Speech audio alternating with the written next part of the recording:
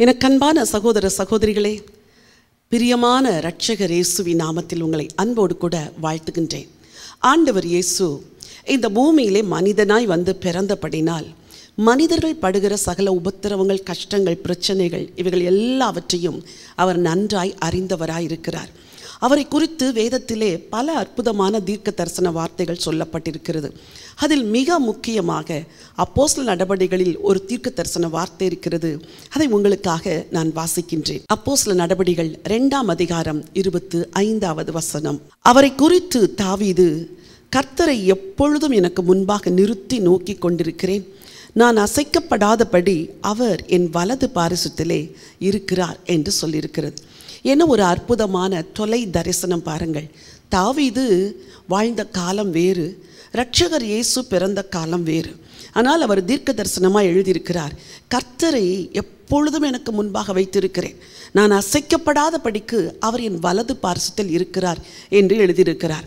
அந்நாட்களில் ஆண்டவரை தரிசிக்க வேண்டுமென்றால் மக்கள் எல்லாரும் தேவாலயத்திற்கு செல்லுவார்கள். வருஷத்துக்கு ஒரு முறை அல்லது வருஷத்துக்கு மூன்று முறை அந்த தேவாலயத்தில் சென்று ஆண்டவரை தொழுது கொண்டு கர்த்தரை தரிசித்தோம் என்ற நம்பிக்கையோடு திரும்ப வருவார்கள். ஆனால் ரட்சகர் இயேசு பூமியிலே வந்து பிறந்து மனிதனாய் வாழ்ந்து சிலுவையிலே தொங்கி ரத்தம் சிந்தி அடக்கம் பண்ணப்பட்டு மூன்றாவது நாள் உயிரோடு எழுந்து பிதாவின் வலது பாரிசத்தில் வீற்றிருக்கிறாராம். அந்த கர்த்தரை நான் எப்பொழுதும் எனக்கு முன்பாக வைத்திருக்கிறேன். அவர் எனக்கு வலது பாரிசத்தில் இருக்கிறபடியால் நான் அசைக்கப்படுவதில்லை என்று சங்கீதக்காரன் தீர்க்க தரிசனமாய் கிறிஸ்துவை குறித்தும் சொல்லியிருக்கிறார். தன்னுடைய விசுவாசத்தையும் சொல்லியிருக்கிறார். இன்றைக்கு நீங்கள் எந்த காரியத்தில் அசைக்கப்பட்டு போயிருக்கிறீர்கள்? அவ்வளவுதான் எல்லாம் முடிந்து விட்டது என்று சொல்லுகிறீர்களா?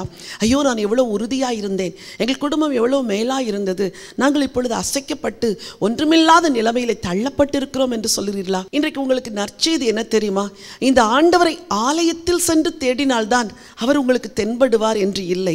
நீங்கள் இருக்கிற இடத்திலே உங்களுக்கு முன்பாக எப்பொழுதும் இந்த கர்த்தர் இருக்கிறார். அதோடு கூட உங்கள் வலது பக்கத்திலும் கர்த்தர் இருக்கிறபடினால் நீங்கள் அசைக்கப்படுவது இல்லை என்று வேதம் சொல்லுகிறது.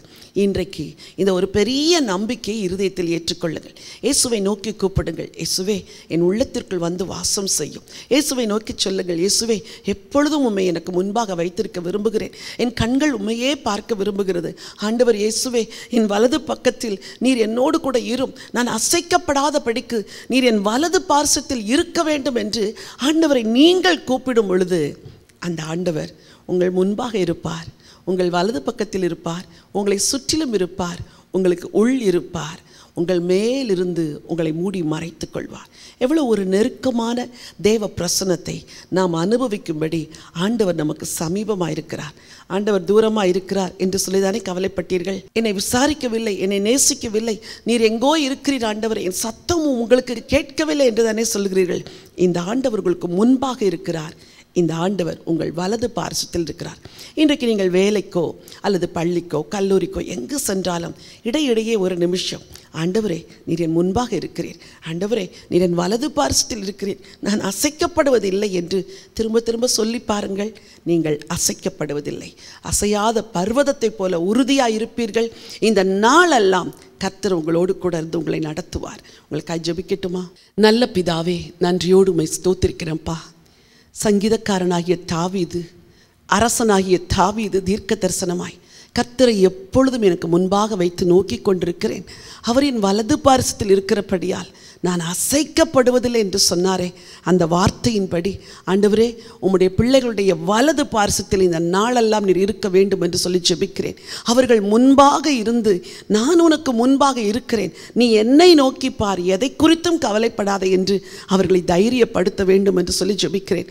இன்றைக்கு எதை குறித்தெல்லாம் பயந்து கொண்டிருக்கிறார்களோ எதை குறித்தெல்லாம் அஞ்சிக் கொண்டிருக்கிறார்களோ எதை குறித்து தீர்மானம் எடுக்க முடியாமல் திகைத்து இருக்கிறார்களோ அவைகள் எல்லாவற்றிலும் அப்பா உடைய கரம் கூட இருக்கட்டும் எங்களோடு கூட இருக்கிறீர் எங்களுக்குள் இருக்கிறீர் வலது பார்சத்தில் இருக்கிறீர் முன்னாக இருக்கிறீர் பக்கத்தில் இருக்கிறீர் சூழ இருக்கிறீர் மேலிருந்து மூடிக்கொள்ளுகிறீர் எங்களை உடைய கரங்களில் தாங்கிக் கொள்ளுகிறீர். இவ்வளவு நெருக்கமான தேவ பிரசன்னம் இன்றைக்கு உடைய பிள்ளைகளோடு இருந்தவர்களை நடத்தப் போகிறதற்காய் ஸ்தோத்திரம். ஆசீர்வதிங்க ஆண்டவரே வழி நடத்துங்க. ராஜா இயேசுவின் நாமத்தில் பிதாவே ஆமேன் ஆமேன். பிரியமானவர்களே இந்த நாளெல்லாம் கர்த்தரை உங்கள் முன்பாக வைத்து நோக்குங்கள். பிரச்சனைகளை அல்ல போராட்டத்தை அல்ல மனிதனை அல்ல. கர்த்தரை முன்பாக வைத்து நோக்குங்கள். அவர் வலது பார்சத்தில் இருக்கிறபடியால் நீங்கள் அசைக்கப்படுவதே இல்லை. இந்த நாள் ஒரு வெற்றியின் நாள். God bless you